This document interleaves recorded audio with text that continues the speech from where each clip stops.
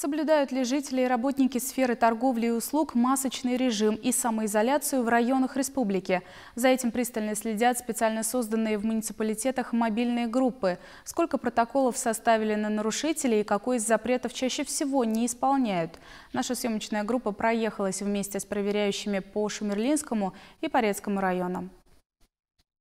В день сколько раз обрабатываете? Через каждые два часа. Ага. Дверные ручки, где люди прикасаются, все обрабатываем. Таким вопросом проверяющие заходят в каждую торговую точку, отделение банка или парикмахерскую. Завидев делегацию, принимающая страна, как правило, не дожидаясь курса ликбеза от людей в погонах, сама начинает рассказывать, что сегодня можно, а чего нельзя. Посетителей в торговый зал опускают исключительно в масках, если потребуется, в продаже есть и перчатки. Помещение по несколько раз за день проходит санобработку. Все-таки опасный вирус. Сельчане об инфекции тоже наслышаны. Походы в магазины свели до минимума.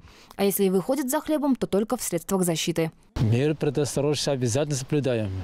Без этого никак нельзя. Раз положение такое, это редко кого можно увидеть, то так без маски кто-то ходит. В основном соблюдают.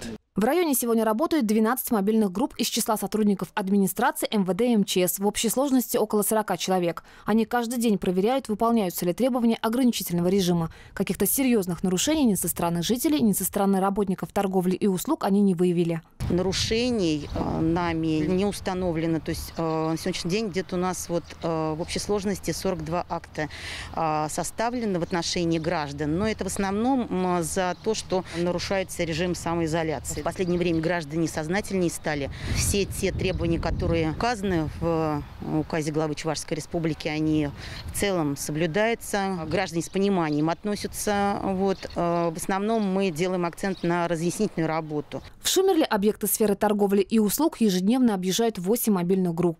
Здесь компанию проверяющим составили еще и сотрудники Роспотребнадзора и прокуратуры. Вопросы у делегации те же. Измеряют ли температуру работникам перед открытием точки, все ли обеспечены масками и перчатками. Вопросы, впрочем, на злобу дня. В Шумерле количество официально подтвержденных случаев заражения коронавирусом перевалило за полсотни. Это почти вдвое больше, чем по всему Шумерлинскому району. Информация об этом, похоже, держит в тонусе владельцев бизнеса и продавцов. Меры предосторожности, по их словам, у них запредельные. Покупатели обслуживаем в перчатках, масках, без масок не входят. Перед каждым посетителем, если дверь открывается, антисептиком обрабатываем. Вот вы сейчас все собрались, а это противопоказано тоже. Да, Дистанция полтора метра. А вас здесь 10. Не кучковаться проверяющих попросили и в Порецком. Вы тоже соблюдайте правила, не кучкуйтесь. Все верно. Полтора метра, да. Сегодня такое время, когда напоминать о правилах безопасности не зазорно и людям при высокой должности, считают продавцы магазинов. И в этом правы. Ситуацию с распространением коронавируса в районе сами местные власти называют напряженной. Количество зараженных здесь приближается к полусотни. Всему виной вспышка инфекции на крупном предприятии, к счастью, вовремя локализованная, но успевшая подпортить статистику. Так что антисептики на входах в учреждение, маски на лицах – вполне привычная липаричан картина. Все, и в магазинах здесь стоит, мы уже обработались, и у самих в машине тоже у нас лежит.